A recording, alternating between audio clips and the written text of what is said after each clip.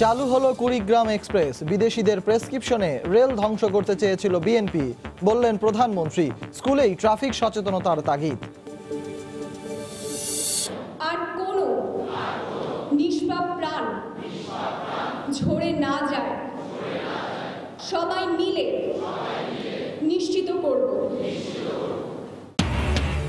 সন্ত্রাস রুখে দেওয়ার শপথে বুয়েট শিক্ষার্থীদের মাঠের আন্দোলনের ইতি। এবং ড্রেজিং অব্যবস্থাপনায় নাব্য সংকটে শিমুলিয়া কাঁঠালবাড়ি রুটে ফেরি বন্ধ। শত শত ট্রাক পণ্য নষ্ট, পরস্পরকে দুষছে বিআইডাব্লিউটিএ ও বিআইডব্লিউটিসি।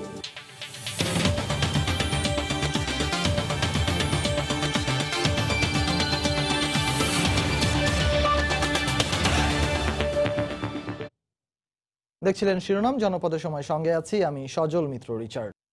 সঠিক পরিকল্পনা নিয়ে সরকার রেলকে লাভজনক খাতে পরিণত করেছে জানিয়ে প্রধানমন্ত্রী শেখ হাসিনা বলেছেন, বিদেশি সংস্থার প্রেসক্রিপশনে বিএনপি এ খাতকে ধ্বংসের দ্বার প্রান্তে নিয়ে গিয়েছিল। সকালে গণভবন থেকে ভিডিও কনফারেন্সে কুড়িগ্রাম এক্সপ্রেস ট্রেন সহ বেশ কিছু প্রকল্পের উদ্বোধন অনুষ্ঠানে একথা বলেন তিনি। উত্তরের জেলা দেশের প্রত্যন্ত জনপদ কুড়িগ্রামও এবার রেলপথে সরাসরি যুক্ত হল রাজধানী ঢাকার সঙ্গে। বুধবার সকালে ভিডিও কনফারেন্স করে গণভবন থেকে ঢাকা কুড়িগ্রামে চলাচল করা নতুন আন্তনগর ট্রেন সার্ভিস কুড়িগ্রাম এক্সপ্রেসের উদ্বোধন করেন প্রধানমন্ত্রী শেখ হাসিনা। এক্সপ্রেস ট্রেন চলাচলের শুভ উদ্বোধন ঘোষণা করছি। ইন্দোনেশিয়া থেকে আমদানি করা অত্যাধুনিক এই ট্রেন সপ্তাহের ছয় দিনেই প্রায় দেড় হাজার যাত্রী পরিবহনে সক্ষম। দশ ঘন্টায় এটি কুড়িগ্রাম থেকে পৌঁছাবে রাজধানীতে। মানুষগুলোকে বঞ্চনার হাত থেকে উদ্বোধনী অনুষ্ঠানে প্রধানমন্ত্রী বলেন সুদূর প্রসারী পরিকল্পনা ছিল বলেই রেল খাত আজ শুধু লাভজনক নয় আর্থসামাজিক পরিবর্তনের অন্যতম হাতিয়ার। কোনো কোনো আন্তর্জাতিক সংস্থার নির্দেশনা ছিল যে কোনটা লাভবান না তো সেটা বন্ধ করে দাও। ঠিক তেমনিভাবে এই নির্দেশনায় রেল যোগাযোগটাকেই সম্পূর্ণ বন্ধ করে দেওয়ার জন্য অনেকগুলি রেল লাইন বন্ধ করে দেয় অনেকগুলি রেল স্টেশন বন্ধ করে দেয় এবং যেহেতু লাভবান হয় সেহেতু এটা চলবে না। এই ধরনের একটা নীতি নিয়েছিল বিএনপি ক্ষমতায় থাকতে। এই অনুষ্ঠান থেকেই লালমনি ও রংপুর এক্সপ্রেসের বগি সংখ্যা বৃদ্ধির কার্যক্রমও উদ্বোধন করা হয়। এ সময় উত্তরের তিন জেলার সুবিধাভোগীদের সঙ্গে কথা বলেন শেখ হাসিনা। আর যেন কখনো ওই মঙ্গা শব্দটা আবার কুড়িগ্রামবাসী সহ উত্তরবঙ্গের মানুষকে আর কখনো উচ্চারণ করতে না হয়। কুড়িগ্রামে যেহেতু কৃষি বিশ্ববিদ্যালয় আমরা করে দিতে পারি, আর লালমনিরহাটে আমরা অন্য ভিন্ন ধর্মী একটা বিশ্ববিদ্যালয় করে দিচ্ছি, সেটা হচ্ছে অ্যারো স্পেস এবং অ্যাভিয়েশন বিশ্ববিদ্যালয়। খুব টেকনিক্যাল শিক্ষা যাতে পায়, ওই অঞ্চলের সব মানুষ সেই দিকে লক্ষ্য রেখেই আমরা এটা করে দিচ্ছি। এর আগে গণভবন থেকে ভিডিও কনফারেন্সে ঢাকা সিলেট মহাসড়কে চার লেন বিশিষ্ট ভুলতা ফ্লাইওভার চট্টগ্রামের পটিয়া বাইপাস মুন্সীগঞ্জের তেরোটি ও ময়মনসিংহের একটি সেতু উদ্বোধন করেন প্রধানমন্ত্রী। তিনি বলেন নিরাপদ সড়ক প্রতিষ্ঠায় ট্রাফিক আইন সম্পর্কে প্রাথমিক স্তর থেকেই শিক্ষার ব্যবস্থা করতে হবে। স্কুল থেকে কিন্তু ট্রাফিক আইন সম্পর্কে আমাদের ছেলেমেয়েদেরকে সচেতন করতে হবে রাস্তার কোন দিক থেকে হাঁটতে হবে। সেটাও কিন্তু একটা শিক্ষণীয় বিষয়। চালক পথচারী সহ মহাসড়কের প্রত্যেক ব্যবহারকারীর দায়িত্বশীল ভূমিকাই দুর্ঘটনা রোধ করতে পারে বলেও উল্লেখ করেন সরকার প্রধান শেখ হাসিনা। দেবাশিস রায় সময় সংবাদ ঢাকা। ক্যাম্পাসে সন্ত্রাস রুখে দেয়ার গণশপথে মাঠের আন্দোলনের রীতি টানলেন বইয়ের শিক্ষার্থীরা। এদিকে নিজেও শপথ নিয়ে উপাচার্য অধ্যাপক সাইফুল ইসলাম সাংবাদিকদের বলেন বুয়েটের তদন্ত কমিটির প্রতিবেদন পেলেই আবরার ফাহাদ হত্যাকাণ্ডে জড়িতদের স্থায়ীভাবে বহিষ্কার করা হবে। দুপুরে বুয়েট মিলনায়তনে এ গণশপথ অনুষ্ঠিত হয়। অপরাধীদের চূড়ান্ত বহিষ্কার না হওয়া পর্যন্ত ক্লাস কিংবা পরীক্ষায় অংশ নেবেন না শিক্ষার্থীরা। দৃপ্ত কণ্ঠে শপথ। দৃঢ়চিত্তে উচ্চারণ সবার জন্য সমান বইয়ের। আর কোনো অন্যায় আপোষ নয়। শিক্ষার্থীদের সঙ্গে কণ্ঠ মেলান উপাচার্য সহ শিক্ষকরা। আর কোনো নিরপরাধ যেন অত্যাচারের শিকার না হয়। পরে আসে মাঠ পর্যায়ে সব আন্দোলনের সমাপ্তির আনুষ্ঠানিক ঘোষণা। আমাদের সাথে ধৈর্য ধরে সহযোগিতা করেছেন সমর্থন জুগিয়েছেন আপনাদের সকলকে অত্যন্ত ধন্যবাদ আবরারের হত্যা সহপাঠীদের শিখিয়েছে দাবি আদায়ের সংগ্রাম। তাই ক্লাসে ফেরার সিদ্ধান্ত অপরাধীদের স্থায়ী বহিষ্কারের পর। এই চেঞ্জ অফ উইন্ড আসলে দরকার ছিল যেটা হচ্ছে এতদিন পসিবল হয় নাই হয়তো মানে এবার এই আন্দোলনের কারণে এটা পসিবল হয়েছে চার্জশিটে যারা মূল আসামি এবং আমাদের প্রশাসনের তদন্ত কমিটি থেকে ওনারা তদন্ত করে যাদেরকে মূল আসামি পাবেন তাদের সাথে তাদেরকে স্থায়ী বহিষ্কার করতে হবে। এদিকে গণশপথ শেষে ভিসি জানান তদন্ত কমিটির রিপোর্ট পেয়ে শুরু হবে স্থায়ী বহিষ্কারের প্রক্রিয়া। চার্জশিট তো দেবে নভেম্বর মাস পর্যন্ত। এতদিন পর্যন্ত ওয়েট করলে তো আমাদের অনেক ক্ষতি হয়ে যাবে। তা আমরা ছাত্র থেকে বোঝানোর চেষ্টা করব যে এতদিন অপেক্ষা না করে যদি আমরা তদন্ত কমিটিতে কিছু করতে পারি তো ওটা দিয়ে যদি ওদেরকে সন্তুষ্ট করতে পারি, যা চার্জশিট হলে তো বাকিটা শেষ হয়ে যাবে। তড়িৎ কৌশল বিভাগের দ্বিতীয় বর্ষের ছাত্র আবরার হত্যাকে কেন্দ্র করে সাত অক্টোবর থেকে দশ দফা দাবিতে ক্যাম্পাসে আন্দোলন করেছিলেন বুয়েটের শিক্ষার্থীরা। বুয়েট ক্যাম্পাসে আর কোনোদিনও ফিরবে না আবরার। তবে আবরারের মৃত্যু জাগিয়ে তুলেছে তার সহপাঠীদের, নিশ্চিত করেছে নিরাপদ ক্যাম্পাস। তাই তো শপথে দৃঢ় উচ্চারণ এমন পরিস্থিতি আর কোনোদিনও এই ক্যাম্পাসে হতে দিবে না তারা। রাশেদ লিমন, সময় সংবাদ, ঢাকা। বিআইডব্লিউটি এর ড্রেজিং বিভাগের গাফিলতির কারণেই শিমুলিয়া কাঁঠালবাড়ি নৌ রুটে অচল অবস্থা সৃষ্টি হয়েছে। এমন দাবি বিআইডব্লিউটিসি ও ওই রুটে চলা লঞ্চ মালিকদের। তবে বিআইডব্লিউটি এর ড্রেজিং বিভাগ বলছে, গাফিলতি নয়, বরং উজান থেকে নেমে আসা পানির সঙ্গে অত্যাধিক পলির কারণেই নাব্য সংকট কাটছে না। মাওয়া থেকে আরও জানাচ্ছেন মাহমুদ রাকিব।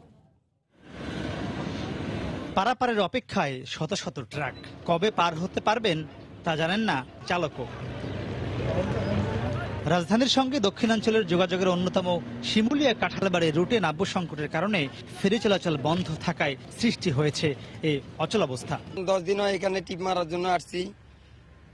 গাড়ি আটকে আছে। টাকা পয়সা যা আসলে সব খাইয়ে দেওয়া তো শেষ। ঝুঁকি নিয়ে কিছু লঞ্চ যাত্রী পারাপার করলেও তা বন্ধের উপক্রম বলে দাবি করেছেন লঞ্চের মাস্টাররা। ডেজিং ঠিক মতো করলে তো আর আগে খালি হয়ে যেত। এরা তিন ঘণ্টা ড্রেজিং করলে ছয় ঘণ্টা বসে থাকে।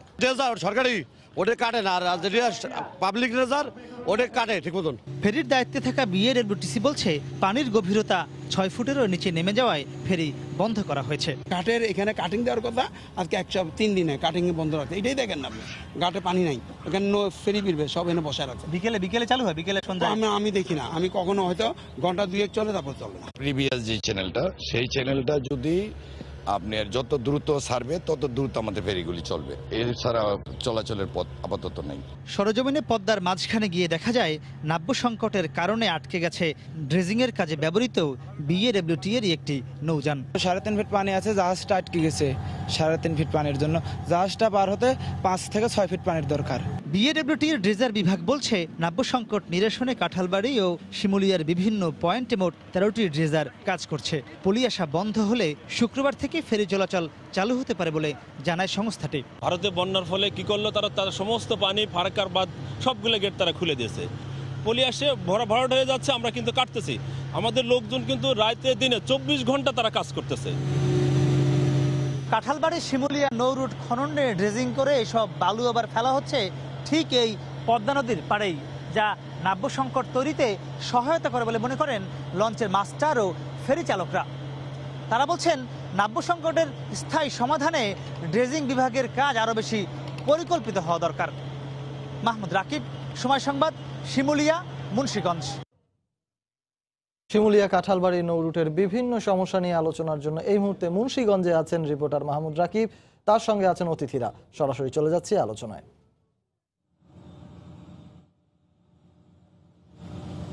হ্যাঁ রিচার্ড আপনাকে ধন্যবাদ। আসলে প্রাকৃতিক যে নাব্য সংকট, এর কারণে মূলত ওই কাঁঠালবাড়ি ও শিমুলিয়া নৌরুটিতে বেশ কয়েক সপ্তাহ যাবতই একটি সমস্যা তৈরি হয়েছে। গত তিন চার দিন ধরে সেটি অচল অবস্থায় পরিণত হয়েছে। তো এই যে প্রাকৃতিক সংকটটি চলছে, এটি আসলে আজকে যখন আরও বেশি করে গণমাধ্যমে এসেছে ইতিমধ্যেই এই জায়গাটি সরজমিনে পরিদর্শন করতে বিএডব্লিউটি এর চেয়ারম্যান এবং এই ড্রেজিং বিভাগের প্রধান প্রকৌশলী এসেছেন। তা আমরা এখন একটু তাদের সঙ্গে কথা বলব। আমার সঙ্গে আলোচনা করতে উপস্থিত রয়েছেন বিএডব্লিউটি এর chairman commodore M Mahbubul Islam এবং আমাদের সঙ্গে আছেন বিএডব্লিউটি এর ড্রেজিং বিভাগের প্রধান প্রকৌশলী জনাব মোহাম্মদ আব্দুল মতিন। আপনাদের স্বাগতম। তা আমরা একটু প্রথমে যাব চেয়ারম্যান আপনার কাছে। এই যে প্রাকৃতিক সংকটটি তৈরি হয়েছে, এখন আপাতত এ থেকে উত্তরণের জন্য আপনারা কি করছেন? এই প্রাকৃতিক যে সংকট তৈরি হয়েছে, এটার মূলত উজান থেকে পলি এসে জমা হচ্ছে। আর আপনারা জানেন যে এই নদীগুলো, বিশেষ করে পদ্মা নদীর মতো যেটা খুবই ডাইনামিক নদী, সেটা হয় কি, কোনো কোনো ক্ষেত্রে তার গতিধারাটা চেঞ্জ করে। তো এই বছর যেটা হয়েছে যে নদীর মূল ধারাটা আমাদের এই পাশ থেকে দক্ষিণাঞ্চল থেকে পূর্ব দিকে চলে গেছে, শিমুলের দিকে চলে গেছে কাঁঠালবাড়ি। এতে ফলে যে এই অঞ্চলটা, বিশেষ করে কাঁঠালবাড়ি থেকে বের হয়ে যে আমরা যে যে চ্যানেলগুলো রয়েছে, আমাদের আগে যেটা সরাসরি চ্যানেল ছিল, যেটা লোহজং টার্নিং দিয়ে এবং আমরা বিকল্প একটা গত ফেব্রুয়ারি মাসের শেষ থেকে শুরু করে আগস্টের এক তারিখে উদ্বোধন করেছিলাম, যাতে করে এই সময়টা আমরা সামাল দিতে পারি। সেই চ্যানেলের মুখে বিরাট একটা চর পড়েছে, যেটা চরটা, চড়াই হচ্ছে দুই কিলোমিটার এবং এর ফলে নদীর গতিবিধিটা শিমুলিয়ার দিকে চলে গেছে। এখানে এখন প্রচুর পরিমাণ পলি জমছে। এটা আমরা আগে থেকেই বুঝতে পেরেছিলাম, দেখেই আমরা গত ফেব্রুয়ারি থেকে আমরা বিকল্প চ্যানেলটা করেছিলাম, যেটা প্রায় দুই দশমিক ছয় কিলোমিটার এবং ওখানে আমরা সাত লক্ষ ঘনমিটার মাটি কেটেছিলাম এবং সময় লেগেছিল। আপনারা জানেন যে গত আগস্টে করার পর আমাদের কোরবানি ঈদ এবং পনেরোই আগস্টের সময় আমাদের এখানে পারাপারে কোনো অসুবিধা হয়নি। এখন আমাদের যেটা বিকল্প হচ্ছে চ্যানেলটা যেহেতু ওখানে মুখে একটা জ্বর পড়ে গেছে, গত সপ্তাহে ওখানে চোদ্দ ফিট কাটা ছিল। পরবর্তী পর্যায়ে আজকে চলে আসছে সকালবেলা সাড়ে পাঁচ ফিট এবং এটা আস্তে আস্তে পলি পড়ে যাচ্ছে এবং দুই কিলোমিটার ওখানে খুবই খরস্রোত। আপনি এখানে দেখতে পারবেন যে এখন এখানে পাঁচ থেকে ছয় নট, তার মানে প্রায় বারো কিলোমিটার বেগে স্রোত বয়ে যাচ্ছে, ওখানে চ্যানেলে করা যাচ্ছে না। তো আমাদের এটা পূর্ণ পূর্বের যে চ্যানেলটা ছিল, সরাসরি ওটাকে আমরা ড্রেজিং করছি। আপনাকে ধন্যবাদ। একটু আপনার কাছে আসব। ড্রেজিংটা তো মূলত আপনার বিভাগই দেখে। তো এই যে এখানে যে নাব্য সংকট এটি সমাধানে আপনার ড্রেজিং বিভাগ আসলে কী কী উদ্যোগ নিয়েছে? আমরা আসলে এটার সমাধানের জন্য আমরা, আপনি দেখ- দেখছেন এখানে আজকে আপনি সারাদিনই আছেন প্রায়। আপনি দেখতেছেন যে এখানে আমাদের বিআরডব্লিউটি এর প্রায় দশটা ডেজার আছে, আর এবং প্রাইভেট তিনটা ডেজার আছে, প্রায় তেরোটা ডেজার নিয়ে আমরা কাজ করতেছি। আমাদের এই সময়টায় প্রতি বছরই এরকম একটা সংকট তৈরি হয়। এটা আসলে আগে কেটে রাখলে এটা পুরোটা একটা চর, এবং এটা আমরা যে শিমুলিয়াতে লোহজং থেকে, টার্নিং থেকে, কাঁঠালবাড়ি পর্যন্ত পুরোটা কিন্তু চরের প্রতি আমরা চলি। এটা আমরা এমনি আপাতত দৃষ্টি বোঝা যায় না পুরোটা একটা চর মানে বালি।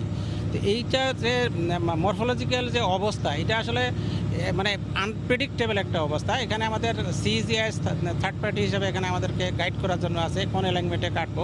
তারাও সারাক্ষণ এখানে পরীক্ষা নিরীক্ষা করতেছে। আমরা আসলে এই এই পরিকল্পনা ছিল বলেই হয়তো আমরা এই যে সামাল দেওয়ার জন্য চেষ্টা করতেছি। কিন্তু আমি গত সপ্তাহে আসছি সিএম স্যার সহ আসছিলেন। এবং আমরা গত সপ্তাহে আমি এই, এরকমই ধারণা করতেছিলাম যে এটা আসলে আমরা একটা পর্যায়ে এটা মোটামুটি কন্ট্রোলে নিয়েই আসছিলাম। আমরা তারপর থেকে পানি কমতেই থাকলে আর সমস্যা হতো না। কিন্তু গত কয়েকদিন আগে আপনি নিজে জানেন, আপনারা এটা সবাই যে ভারত থেকে ওদিক থেকে, উজান থেকে অনেক বেশি পানি ছেড়ে দেওয়া হয়েছে এবং সেটা এখান দিয়েই পার হচ্ছে। পদ্মা এবং যমুনার সমস্ত পানি যেমন এখান দিয়ে বঙ্গোসাগরের দিকে যায় বালি যা আছে সেটাও কিন্তু এখান দিয়ে যায়। আপনি জানেন যে এখানে গ্রাম কি গ্রাম ভেঙে গেছে। আপনি কয়েক আপনি এখনই এই যে কয়েকদিন আগে আমাদের দৌলত দিয়া দু তিনটা ঘাট ভেঙে গেছে এবং তারা উপরে প্রায় গ্রাম ভেঙে চলে গেছে। এই প্রাকৃতিক সংকট। কি পরিমাণ পলি আসে আর আপনারা প্রতিদিন কি পরিমাণ খনন করেন? এখানে আমাদের প্রায় প্রতি বছরে তিরিশ থেকে পঁয়ত্রিশ লক্ষ ঘনমিটার মাটি আমাদের এই শুধু শিমুলিয়াতেই কাটতে হয়। তো আমার দেখেন আমার পঁয়ত্রিশটা ডেজার। পঁয়ত্রিশটা ডেজার দশটাই কিন্তু আমাদের এখানে আছে। এবং আমরা আগে কিন্তু আমাদের এই এত এই বড় সাইজের ড্রেজারও ছিল না, আমরা বর্তমানে এখানেই আছে ছাব্বিশ ইঞ্চি তিনটা ড্রেজার, যেগুলো অত্যন্ত আধুনিক প্রযুক্তি সম্পন্ন। আপনি নিজেই দেখলেন, আমাদের ক্রেন বোর্ডটা একটু আগে এখানে আটকে গেল। এই ক্রেন বোর্ডটা কিন্তু আমাদের সবসময় এই অ্যাঙ্কর ফেলার জন্য লাগে। আজকে যদি আমার দুইটা অ্যাঙ্কর বুম দুই পাশ দিয়ে না থাকলে, এখানে দেখেন দুই পাশে দুটো অ্যাঙ্কর বুম আছে। এইগুলো যদি না থাকতো আমি এই ড্রেজারটাও চালাইতে পারতাম না। ফলে আমাদের এখানে মোটামুটি যথেষ্ট প্রস্তুতি ছিল, কিন্তু এই যে তিন চার দিনের ভিতরে এত বড় জায়গার পানির কমে যাওয়া আর এইটাই তিন চার দিনের ভিতরে আবার সার্ভাইভ করা, এইটা খুব টাফ আর কি। মানে মানে আমার তো ড্রেজার এই সামান্য এখানে কিন্তু দুই হাজার ফিট আমার কাটতে হবে। এই দুই হাজার ফিটে আমার কিন্তু এই পাঁচটা ড্রেজার আছে। এখন আমার দশটা ড্রেজার সবগুলোই তো আমি এখানে লাগাইতে পারব না। তাহলে আমার পাঁচটা ড্রেজার দিয়েই তুলতে হবে। তা আমার এটা আশা করি আমরা আমরা, আমরাও অত্যন্ত আন্তরিকভাবে দুঃখিত যে এখানে এখানে পারাপারের জন্য সবার কষ্ট হচ্ছে, এটা আমরাও বুঝি। কিন্তু আমরা আসলে প্রাকৃতিক এই বিপর্যয়ের আমাদের হাতের নিয়ন্ত্রণের বাইরে, আমরা কিছু করতে পারি না। আশা করতেছি আমরা যে আমাদের তিন চার দিন ধরে আমি এখানে আরেকটু বলি, এখানে স্রোত এত বেশি সারে যেটা বললেন, এত বেশি স্রোত ছিল যে আমার একটা ড্রেজার দুইটা টাক দিয়েও ধরে রাখতে পারতেছিল, আপনার ভাষায় নিয়ে নিচে চলে যাচ্ছিল। ওইটাকে শুধু একটা ড্রেজার আনতেই আমার তিন দিন সময় লাগছে, নিচ থেকে এত বেশি ওয়াটার ভেলোসিটি ছিল। তা আমাদের যা- প্রস্তুতি আছে, আমাদের যে, এই কন্ট্রোলে চলে আসলে এই বছর আর কথা সমস্যা আশা করি হবে না। আগামী কাল পরশুর ভিতরে কালকেই আমাদের টার্গেট আছে আমরা যদি স্মুথলি ড্রেজার চলে তাহলে আশা করি কালকের ভিতরে আমরা এটা কেটে দিতে পারব। এবং এর মধ্যে এরপরে কিন্তু আরও বারো ফিট পানি কমবে। এবং আমার এখানে আরও দেড় হাজার থেকে দুই হাজার ফিট পানি আরও নদীর দিকে আসা লাগবে। আমরা আজকে দেখছিলাম যে কিছু কিছু জায়গায় সাড়ে তিন ফুট পানি আমরা সচক্ষে দেখছিলাম। এই যে প্রাকৃতিক দুর্যোগ এবং আপনারা এর বিরুদ্ধে আসলে বলছেন যুদ্ধ করছেন প্রকৃতির বিরুদ্ধে যুদ্ধ। এই অসম যুদ্ধের সমাধান কি আসলে? এর সমাধান হচ্ছে যে আমাদের এটা যুদ্ধ ঠিক বলব না, আমরা এটা প্রকৃতির সাথে সামঞ্জস্য রেখেই আমাদের করতে হবে। এটা যুগে যুগে করা হচ্ছে। এখন এবার আমাদের এই ক্ষেত্রে একটু হয়েছে যে, কাঁঠালবাড়ির সাইডে পলিটা বেশি চর পড়ে গেছে একটা বড়। আর আপনি যেটা বলছিলেন আমাদের চিফ ইঞ্জিনিয়ার যে উজানে অনেক জায়গায় ভেঙে যাচ্ছে। যেমন আমাদের রাজবাড়ি অঞ্চলে ভেঙে যাচ্ছে, তারপরে এখানে আছে টঙ্গিবাড়ি অঞ্চলে ভেঙে যাচ্ছে। স্বাভাবিক পলি বছরে প্রায় দুই বিলিয়ন টন আসে। তার সাথে এই বছরে একটু ভেঙে যাওয়ার জন্য আরও আসছে। এটাই আমাদের এখানেই খাপ খেয়ে চলতে হবে। আমরা যেমন এই বছর আমরা গত বছরের শিক্ষা থেকে আমরা স্টাডি করে আমরা বিকল্প চ্যানেল করেছিলাম। বিকল্প চ্যানেল চালু করলাম, তারপর আবার একটু কমে গেল, আবার স্ট্রেট চ্যানেল ন্যাচারালি খুলে গেল, আবার আমরা বিকল্প চ্যানেলে গেলাম। এখন আমরা যেটা হচ্ছে আগামীকাল বিকাল অথবা আগামী পরশুদিন সকালের মধ্যে, শুক্রবার সকালের মধ্যে আমরা সরাসরি যে চ্যানেলটা আছে, সেটা আমরা আশা করি শেষ করে ফেলতে পারব। যদি কোনো এক্সেপশনাল কেস না হয়, যেমন কিছুক্ষণ আগে আমাদের একটা সুরমা ড্রেজার তার পাইপ ভেঙে গেছে, এত স্পিড স্রোতের কারণে স্রোতের কারণে। এখানে পাইপ ধরে রাখা, যেমন এই ড্রেজারটা এটা যদি সুইং করে ড্রেজিং করতে পারতো, তাহলে আমাদের একেবারে একশো বিশ ফিট আমরা একবারে কাটতে পারতাম। এখন আমাদের সুইং করার মতো সুইং করতে গেলে পানির প্রেশার আটকায় দিচ্ছে সুইং করতে দিচ্ছে না। তো এখন ওরা যেটা করছে যে, সামনে স্ট্রেট কেটে যাচ্ছে ষাট ফিট করে, ষাট চওড়া করে, এবং ওটা আবার পিছিয়ে আরেকটা করতে হবে, তো সময় বেশি লাগছে। তা আমাদের এইভাবেই চলতে হবে। আশা করি যে আগামী কাল বিকালে অথবা পরশুদিন সকালের মধ্যে আমরা এটা করে ফেলতে পারব। তবে আমাদের স্ট্রেট চ্যানেলটাকে কন্টিনিউ করে যেতে হবে। আমাদের এখানে আমাদের ফেরি চলাচল করবে এবং আশা করি যে সাথে সাথে আমরা ড্রেজিং করে এটা মেনটেন করব। তবে সবচেয়ে আমার মনে হয় যখন পদ্মা সেতু চালু হবে তখন আরও সব কিছু সমাধান হয়ে যাবে। আপনার কাছে আরেকটি বিষয় আসবে যে অনেকে আসলে যেটি খালি চোখে দেখা যায় ড্রেজার কেন সারাদিন চলে না, চব্বিশ ঘণ্টা চলে না, এমন প্রশ্ন আসে। আপনি একটু এই বিষয়টা মানে সমাধানটা কি? কেন এই প্রশ্নগুলো আসছে? আসলে ধরেন আমি আমার একটা আমরা, আমরা- সরকারি কর্মকর্তা, আমার কাজ করার কথা ক- কয় ঘণ্টা? আট ঘণ্টা। আমার একটা ড্রেজারও কিন্তু চলার কথা আট ঘণ্টা। কিন্তু আমরা এখানে ইমার্জেন্সি কেসে আমরা কিন্তু চব্বিশ ঘণ্টার ভিতরে ইফেক্টিভ ড্রেজিং হয়। কারণ ড্রেজারটা সারাক্ষণে কিছু না কিছু প্রিপারেশনে অনেক দরকার পড়ে। যেমন আমরা একটু আগে দেখলেন যে এটা অ্যাঙ্কর এখান থেকে টেনে ওই দিক ফেলতে হচ্ছে। সেই সময়টা আমার কাটার বন্ধ থাকবে। আবার আমার পাইপ ছুটে গেছে বা এটা হয়ে গেছে, তখন ওই পাইপ ঠিক করার জন্য আমার এই করা লাগে। যার জন্যে আমাদের চব্বিশ ঘণ্টার ভিতরে ইফেক্টিভ ড্রেজিং আমার দশ থেকে বারো ঘণ্টা, চোদ্দ ঘণ্টা, ষোলো ঘণ্টা এরকম হয়। কারণ এইটাকে যখন আপনি যে সময়টা বন্ধ থাকবে, আপনি তো আপনি তো আর হিসাব করেও বলতেছেন না সারাদিন। আমার তো দেখেন লগ লেখা হয়। তখন সাধারণ মানুষ সাধারণ মানুষ মনে করল যে রাতের বেলা গেলো, দেখল যে চলতেছে না, এই ড্রেজার বন্ধ করে রাখছে। ফলে এই অভিযোগটা আসলে ওই রকম না, এটা খালি চোখে আবার এবং আরও কতগুলো অভিযোগ আমি একটু বলি যে এখানে মাটি ফেলতেছি কোথায়? আপনি খালি চোখে কিন্তু দেখবেন যে এটা পানি। আসলে কিন্তু এটা চর এরকম যে ছয় ইঞ্চি আট ইঞ্চি এক ফিট দেড় ফিট পানি আছে। ফলে কয়েকদিনের মধ্যে দেখবেন আপনি কয়েকদিন পরে এখানে আসলে দেখবেন যে বিশাল চর কেটে আমি এখান দিয়ে চলতেছি। সব মাটি যা ফেলতেছি সবই কিন্তু চরে। এবং এর বিকল্প নেই। আমি যদি আমাকে যদি সাত দিন টাইম দেন দশ দিন টাইম দেন একটা পাইপ লাইন করার সেই টাইম তো আমি পাবো না। ফলে আমার কি করতে হচ্ছে? আমাকে তাৎক্ষণিকভাবে এখনই ফেলতে হবে। যেমন সারেজরা বললেন মাত্র ষাট ফিট কাটতেছে। এই ষাট ফিট দিয়ে কিন্তু ফেরি চলাচল কিন্তু একেবারে স্মুথলি করতে পারবে না। যার জন্য আমাকে কী করতে হবে? আমাকে আরও দুই কাঠ কাটতে হবে এবং আমার এই ড্রেজিং চলবে ডিসেম্বর পর্যন্ত, জানুয়ারি পর্যন্ত আমাকে ড্রেজিং করতে হবে। আপনাকে ধন্যবাদ। জি ধন্যবাদ রিচার্ড আসলে দুজনে যেটি যেটি বলছিলেন যে প্রধান সমস্যা হলো এই যে প্রাকৃতিক সমস্যা। উজান থেকে পানি নেমে আসার এবং সে পানির সঙ্গে পলিটা এত বেশি পরিমাণে আসছে যে তারা যে পরিমাণ নদী খনন করছে তার চেয়ে পলির আসার পরিমাণটা বেশি। এ কারণেই কিন্তু নাব্য সংকট, নাব্যর যে এই সংকটের সমাধানটি হচ্ছে না। তবে তারা বলছেন, তারা চেষ্টা করছেন এবং তারা আরেকটি বিষয় বলছেন যে এই সমস্যা নিয়েই আসলে এই অঞ্চলের মানুষকে বেঁচে থাকতে হবে। প্রতি বছর এই ড্রেজিং এই নাব্য সংকট এগুলো মিলিয়েই আসলে সামনে এগিয়ে যেতে হবে। এর স্থায়ী কোনো সমাধান আসলে এখন পর্যন্ত পাওয়া যাচ্ছে না। তো যেটা আমার কাছে আপাতত শিমুলিয়া কাঁঠালবাড়ির নৌরুটের যে সমস্যা, তারাই ছিল সবশেষ খবর। এ পর্যায়ে শিরোনামগুলো জানিয়ে দিচ্ছি আরেকবার।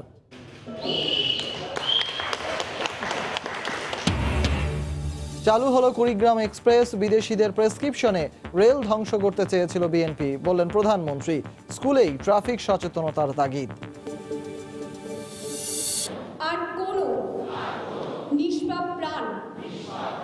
ঝরে না যায়। সবাই মিলে নিশ্চিত করব। সন্ত্রাস রুখে দেওয়ার শপথে বুয়েট শিক্ষার্থীদের মাঠের আন্দোলনের রীতি। এবং ড্রেজিং অব্যবস্থাপনায় নাব্য সংকটে শিমুলিয়া কাঁঠালবাড়ি রুটে ফেরি বন্ধ। শত শত ট্রাক পণ্য নষ্ট। পরস্পরকে দুষছে বিআইডব্লিউটিএ ও বিআইডব্লিউটিসি। এই ছিল এখনকার মতো। আপনার মোবাইলে সময়, সংবাদ দেখতে ও সকল খবর পেতে ডাউনলোড করুন সময় অ্যাপ। আর সঙ্গে থাকুন সময়ের।